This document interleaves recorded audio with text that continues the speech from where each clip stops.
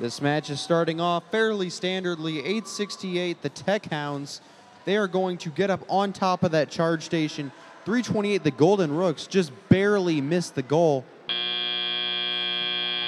At the end of auto period, mobility points have been achieved by either team. It's 30-13, largely largely on account of the charge station differential and autonomous.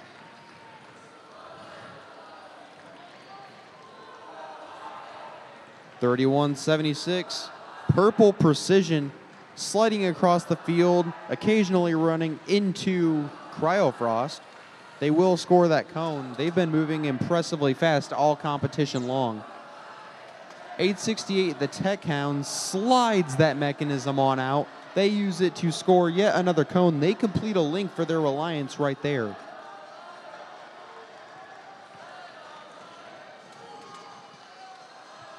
Huskies on Hogs. They've got a smaller, lighter machine. They're going to corral a cube over on the far side of the field. They're going to try taking it back with them to score in the hybrid node. That has been their strategy all year long.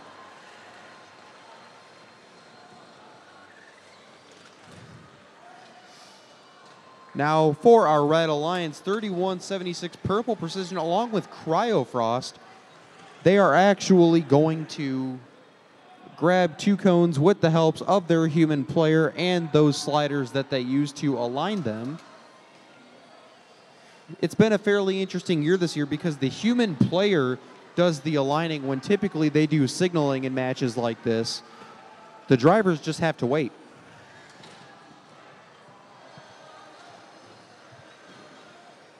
For our Blue Alliance, Red Alert, they were also the Impact Award winners at an earlier event this season. They're competing for it this weekend. Best of luck, guys.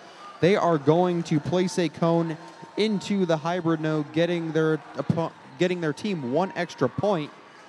The Blue Alliance has two robots in the air. 868 is just going to cycle another. They don't see the need of getting on.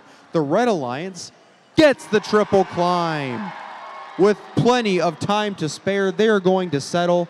And now we are at the end of a match where there's 19 points differential on the screen.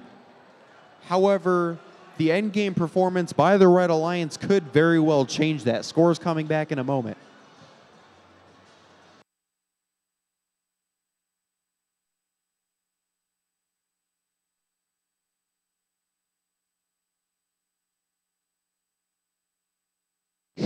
Scores are good. And it's the Blue Alliance. Barely escaping some late heroics by the Red Alliance. Red Alert moves up into a picking spot. 868 riding right on their coattails. 74-54 will move up into number 16. They will pick up four ranking points. Unicorn matches are becoming incredibly common here at the highest level of play in the state.